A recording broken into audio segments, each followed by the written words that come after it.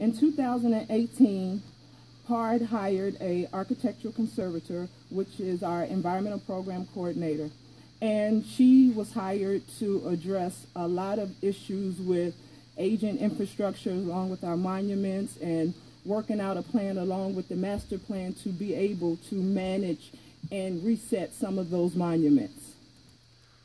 The important thing here is um, that the monuments are the private properties of the families.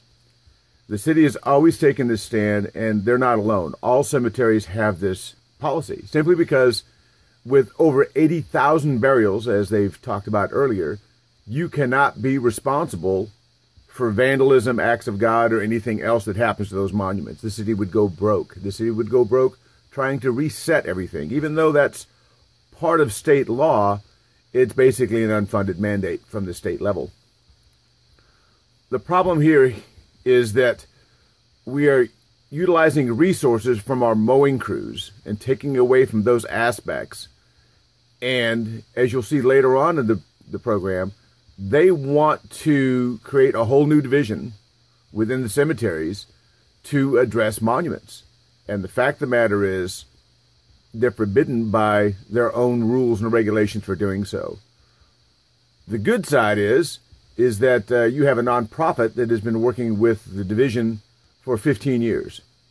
And they are a fundraising arm, so it's not public money that would do this.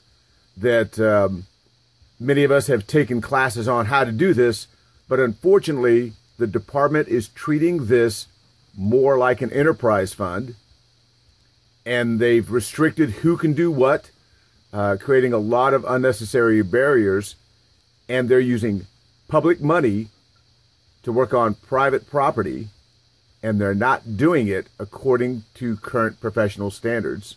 And in some cases, they're setting these uh, historic monuments up for failure down the road. I'm going to give you another video uh, that will explain that.